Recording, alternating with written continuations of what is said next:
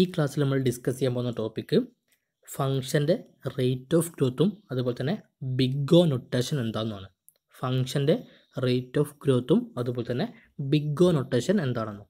ഇപ്പോൾ rate of growth തന്നെ ഒന്നുമില്ല. നമ്മൾ ഫംഗ്ഷനിലേക്ക് ഇൻപുട്ട് കൊടുത്തിട്ടല്ലേ നമ്മൾ ഫംഗ്ഷനെ നമ്മൾ എഴുതുക. ഫംഗ്ഷന്റെ വാല്യൂ നമുക്ക് കിട്ടുക. അപ്പം F of N equal to X plus Y എന്നാണെങ്കിൽ അവിടെ നമ്മൾ എന്നിന് എക്സിനും വൈക്കും എന്തെങ്കിലും വാല്യൂ കൊടുത്താലേ നമുക്ക് എന്ത് കിട്ടുള്ളൂ? നമുക്ക് ആ ഒരു ഫംഗ്ഷൻ നമുക്ക് കിട്ടുള്ളൂ. അപ്പോൾ നമ്മൾ ഇൻപുട്ട് കൊടുത്തിട്ടാണ് എന്ത് ചെയ്യുക? ശരിക്ക് അതിന് നമ്മൾ ഫംഗ്ഷൻ നമുക്ക് വാല്യൂ കിട്ടുക. അതേപോലെ തന്നെ നമ്മൾ ഒരു സെറ്റ് ഓഫ് ഇൻപുട്ട് കൊടുക്കും. അതിനെന്ത് ചെയ്യും? ഫംഗ്ഷൻ അതിന്റെ കറസ്പോണ്ടിങ് വാല്യൂ നമുക്ക് കിട്ടും. അതാണ് ഇവിടെ നമ്മൾ ഡിസ്കസ് ചെയ്യാൻ പോകുന്നത്.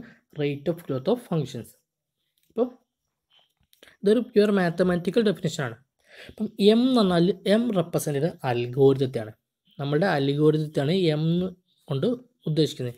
എൻ എന്നാണ് ഇൻപുട്ട് ഡാറ്റേന്റെ സൈസാണ്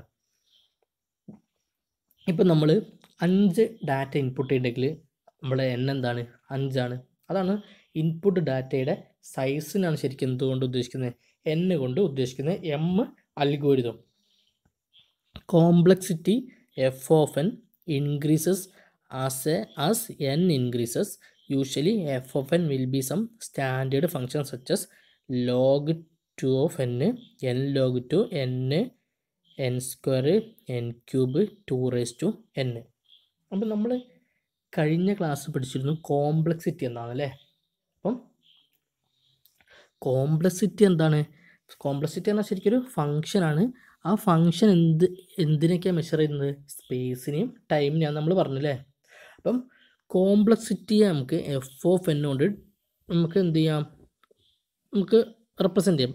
ആ എഫ് ഓഫ് എൻ കോംപ്ലക്സിറ്റി എപ്പോഴാണ് കൂടുക? ഇൻപുട്ടിന്റെ സൈസ് കൂടുമ്പോൾ. അതായത് എന്നിന്റെ സൈസ് ഇൻക്രീസ് ചെയ്യുമ്പോഴാണ് എന്ത്? കോംപ്ലക്സിറ്റി എഫ് ഓഫ് എൻ കൂടുന്നത്.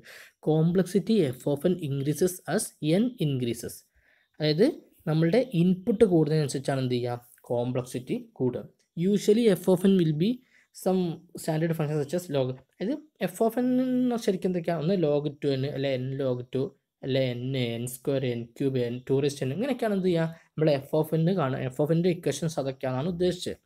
അതായത് എൻ ഇൻക്രീസ് ചെയ്യുമ്പോൾ എന്ത് ചെയ്യും? കോംപ്ലക്സിറ്റി ഇൻക്രീസ് ചെയ്യുന്നതാണ് അതുകൊണ്ട് ഉദ്ദേശിക്കുന്നത്. എൻ ഇൻക്രീസ് ചെയ്യുമ്പോൾ എന്ത് ചെയ്യും? കോംപ്ലക്സിറ്റിയും ഇൻക്രീസ് ചെയ്യും. ഇനി എന്നും അതുപോലെ തന്നെ നമ്മുടെ എഫ് ഓഫ് എന്നോ ജി ഓഫ് എൻ തമ്മിലെ കുറച്ച് വെച്ചിട്ടുള്ള വാല്യൂസ് ആണ് ഇതിൽ കാണുക ഇപ്പം എന്നിന്റെ വാല്യൂ ഫൈവ് ആകുമ്പോൾ നമ്മൾ ജി ഓഫ് എൻ അതായത് ലോഗന്നിന്റെ വാല്യൂ എത്ര ആയിരിക്കും? ത്രീ ആയിരിക്കും. എന്നിന്റെ വാല്യൂ ടെൻ ആകുമ്പോൾ ലോഗനിന്റെ വാല്യൂ ഫോർ ആയിരിക്കും. അങ്ങനെ എന്നിന്റെ വാല്യൂ ഫൈവ് ആകുമ്പോൾ എന്നിന്റെ വാല്യൂ ഫൈവ് തന്നെ എൻ ലോഗനിന്റെ വാല്യൂ ഫിഫ്റ്റീൻ അങ്ങനെ. അതായത് നമ്മളുടെ ഏറ്റവും ടോപ്പ് കിടക്കുന്ന അതെന്താണെന്ന്?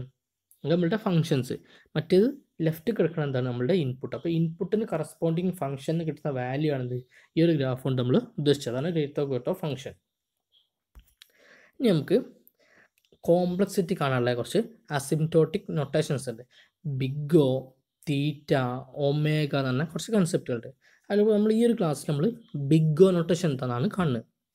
There are many asymptotic notation to represent the complexity of algorithm അപ്പോൾ അൽഗോരിതത്തിന്റെ കോംപ്ലക്സിറ്റിനെ റെപ്രസെന്റ് ചെയ്യാൻ നമുക്ക് മൂന്ന് കാര്യങ്ങളുള്ളത് ഞാൻ പറഞ്ഞു ബിഗ് തീറ്റ ഒമേഗ അതിൽ നമ്മൾ പഠിക്കും. ആ ഇന്ന് പഠിക്കും നമ്മൾ ബിഗ് നൊട്ടേഷൻ എന്താണെന്നാണ് ഇതാണ് ഒന്നുമില്ല. നമുക്ക് പേര് കേൾക്കുമ്പോൾ അത്ര വലിയ ഡിഫിക്കൽട്ട് സാധനങ്ങളൊന്നുമല്ല ഈ ബിഗ് എന്ന് പറഞ്ഞാൽ ദി ബിഗ് നൊട്ടേഷൻ എന്താണെന്ന് നോക്കാം.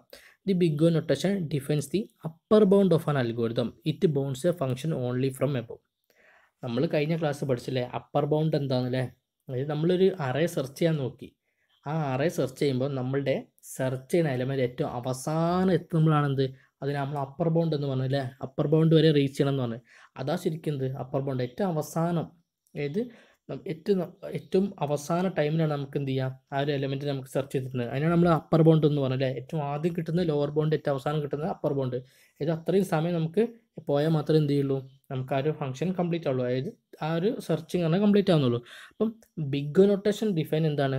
ഒരു അൽഗോരിത്തിന്റെ അപ്പർ ബൗണ്ടറിയാണ് എന്ത് ബിഗ് നൊട്ടേഷൻ ഉപയോഗിച്ച് നമ്മൾ ഡിഫൈൻ ചെയ്യുന്നത്. അപ്പം ബിഗ് നൊട്ടേഷൻ ഉപയോഗിച്ച് നമ്മൾ ഡിഫൈൻ ചെയ്യുന്നത് എന്താണ്? ഒരു അൽഗോരിത്തിന്റെ upper ബൗണ്ടറിയാണ് it describe the worst case scenario അതായത് ഏറ്റവും വേസ്റ്റ് കേസ് സിനാരിയോ ആണത് അത് ഡിസ്ക്രൈബ് ചെയ്യുന്നത് വേസ്റ്റ് കേസ് സിനാരിയോ എന്നുള്ളതാണ് ഏറ്റവും കൂടുതൽ ടൈം എടുക്കും അല്ലേ ആ ഒരു അൽഗോരിതം റൺ ചെയ്യാൻ ഏറ്റവും കൂടുതൽ സമയം എടുക്കും. അതായത് നമ്മൾ സെർച്ചിങ് കണ്ടില്ലേ? ഏറ്റവും അവസാനത്തെ എലമെന്റ് ആണ് നമ്മളെ എലമെന്റ് എങ്കിൽ അതാണ് നമ്മൾ എന്താ പറയുക വേസ്റ്റ് കേസ് സിനാരിയോ എന്ന് പറയാം. It can be use to describe the execution time required for the or the space taken by an algorithm അപ്പോൾ നമുക്ക് ഈ ബിഗ് നൊട്ടേഷൻ ഉപയോഗിച്ച് നമുക്ക് എന്തിനൊക്കെ ഡിസ്ക്രൈബ് ചെയ്യാൻ പറ്റും? ഒന്ന് എക്സിക്യൂഷൻ ടൈമിന് നമുക്ക് ഡിസ്ക്രൈബ് ചെയ്യാം. അതുപോലെ തന്നെ അൽഗോരിതം എടുക്കുന്ന സ്പേസ് അൽഗോരിതം നമുക്ക് എക്സിക്യൂട്ട് ചെയ്യാൻ വേണ്ടി എടുക്കുന്ന സ്പേസിനെ നമുക്ക് എന്ത് ഉപയോഗിച്ചാൽ റെപ്രസെന്റ് ചെയ്യാം? ബിഗ് നൊട്ടേഷൻ ഉപയോഗിച്ച് റെപ്രസെന്റ് ചെയ്യാൻ പറ്റും. അപ്പോൾ അപ്പോൾ എക്സിക്യൂഷൻ ടൈമിനെയും ഉപയോഗിച്ച് ഡിസ്ക്രൈബ് ചെയ്യാം. അതുപോലെ തന്നെ അൽഗോരിതത്തിന്റെ സ്പേസും അൽഗോരിതം റൺ ചെയ്യാൻ എടുക്കുന്ന സ്പേസിനെ നമുക്ക് എന്ത് ഉപയോഗിച്ച് റെപ്രസെന്റ് ചെയ്യാം? ബിഗ് നൊട്ടേഷൻ ഉപയോഗിച്ച് റെപ്രസെന്റ് ചെയ്യാൻ പറ്റും.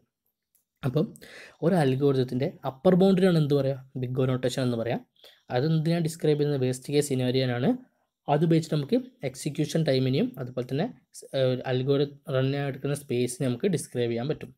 ഇനി ഈ ഒരു ബിഗ് നൊട്ടേഷന്റെ പ്യുവർ മാത്തമാറ്റിക്കൽ ഡെഫിനേഷൻ എന്താണെന്ന് നോക്കാം. Let F of N and G of N are functions defined on positive integers അപ്പോൾ എഫ് ഓഫ് എന്നും ജി ഓഫ് എന്നും രണ്ട് ഫങ്ഷൻസ് ആണ് F of N is bounded by some multiple of G of N അപ്പോൾ ഇവിടെ ഒരു പ്രത്യേകത എന്ന് പറഞ്ഞാൽ എഫ് ഓഫ് എൻ എന്ന് പറഞ്ഞാൽ എന്താണ് അത് ജി ഓഫ് എന്നിന്റെ മൾട്ടിപ്പിൾ ആണ് അതായത് ജി ഓഫ് എന്നിന്റെ മൾട്ടിപ്പിൾ ആണെന്ന് ശരിക്കും എഫ് ഓഫ് എൻ എന്ന് പറഞ്ഞാൽ അതായത് എഫ് ഓഫ് എൻ ബൗണ്ട് ചെയ്തിരിക്കുക എന്തുകൊണ്ടാണ് ജി എന്നിന്റെ മൾട്ടിപ്പിൾ കൊണ്ടാണ് അപ്പോൾ എഫ് ഓഫ് എന്നും ജി ഓഫ് എന്നും രണ്ടും ഫങ്ഷൻസ് ആണ്. എഫ് ഓഫ് എന്നെ ബൗണ്ട് ചെയ്തിരിക്കുന്നത് എന്തുകൊണ്ടാണ്? ജി ഓഫ് എന്നിന്റെ മൾട്ടിപ്പിൾ കൊണ്ടാണ്. At N zero be a positive integer and M be a positive number such that for all N less than N zero we have അതായത് N zero എന്ന് പറഞ്ഞൊരു positive integer ഉണ്ട്. M എന്ന് പറഞ്ഞൊരു positive number ഉണ്ടെങ്കിൽ എന്നിന്റെ value N സീറോനേക്കാളും വലുതായിരിക്കും എന്നാണ് ഉദ്ദേശിക്കുന്നത്. We have F of N greater than or equal to M into G of N അതായത് എഫ് ഓഫിന്റെ വാല്യൂ എന്തായിരിക്കും? അതായത് ജി ഓഫ് എന്നിന്റെ മൾട്ടിപ്പിൾ ആയിരിക്കും എന്നാണ് ഉദ്ദേശിച്ചത് അല്ലേ?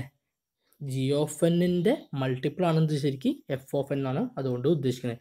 Then we can write F of N equal to big of G of N means that F of N is order of G of N അപ്പം എഫ് ഓഫ് എൻ നമ്മൾ എങ്ങനെ represent ചെയ്യുക F of N equal to big of G of N ഇതാണ് ഇതിന്റെ pure mathematical definition F of എന്നും G F എന്നും functions ആണ്. F of N എന്ന് പറഞ്ഞാൽ ജി ഓഫ് എന്റെ മൾട്ടിപ്പിൾ ആണ്. പിന്നെന്താണ്? F of N greater equal to M into G of N അതിന് നമുക്ക് എന്ത് എഴുതാം? F of N equal to big of G of N അതിന്റെ meaning F of N is order of G of N ആണ്.